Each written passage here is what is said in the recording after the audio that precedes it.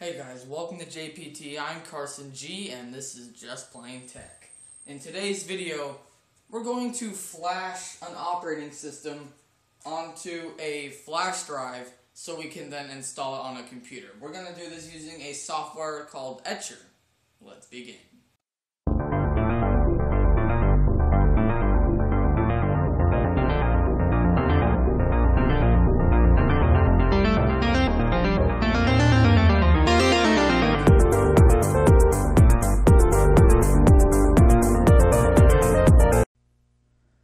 As you can probably imagine, we're going to have to hop on our computer to do this.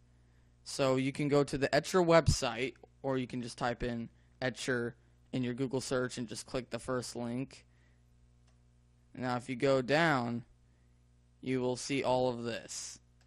Since we are using Linux, we're going to want to keep going down. And if you're using Red Hat, CentOS, or Fedora, you'll click this link if you're using Debian, Ubuntu, Linux Mint, you're going to click this link. And in that case, we're using Debian, Ubuntu, or Mint. So I'm going to click that link. Technically, this is Peppermint, but it's based on Ubuntu. So it will work. Here we are. And it may bring you here for a sec, and then it should bring you down here. And we're going to have to paste all these commands into our terminal. So let's just get our terminal ready. Can, if you have a shortcut down there, you can use that, or you can click Control Alt T. So we're just going to triple click this first command right here, right click it, then copy. Now if we go to our terminal, we can paste that command right in. And we'll probably have to enter our password.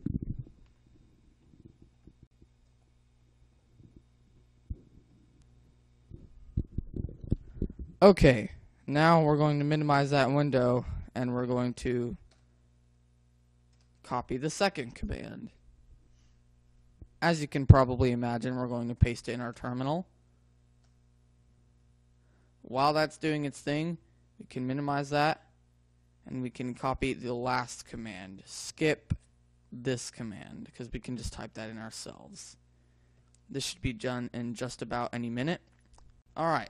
Now we're going to type in sudo apt hyphen get update. And that will update the repositories of our Linux machine. Alright, now that that's done, we're going to go ahead and paste in that last command that we copied, the install command.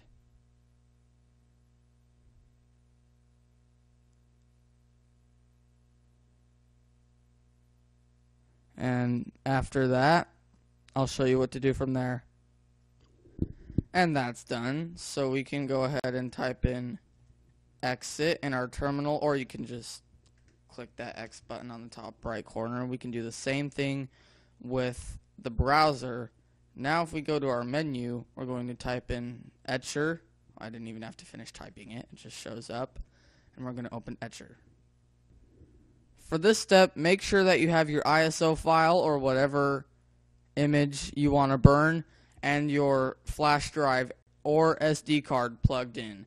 Just make sure that whatever you have plugged in, your SD card, your flash drive, will be completely wiped. All data will be gone. Make sure you don't have any important data on your flash drive or SD card before you burn the image to it. Okay? In this method, I'm going to be using a flash drive, but it will also work with an SD card if you're going to put it in products such as the Raspberry Pi. If you're going to do it on a normal computer, just do a flash drive because not every computer can boot from an SD card, but pretty much any computer can boot from a flash drive. With that being said, we're just going to go ahead and click flash from file right here. This should open up a file window and in this example, I'm going to burn Puppy Linux 32-bit. So I can just open that. And now it's going to want us to select our target.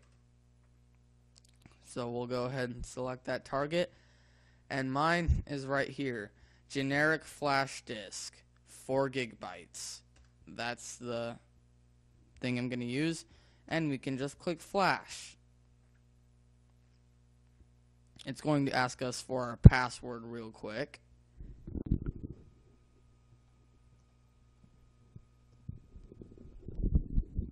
There we go. That easy. You have successfully burned an image to your flash drive and or SD card. Great job, guys. I'll see you in the next video. Thank you guys so much for watching this video. Please make sure to subscribe and hit that notification bell down below if you haven't already. I'll see you next time.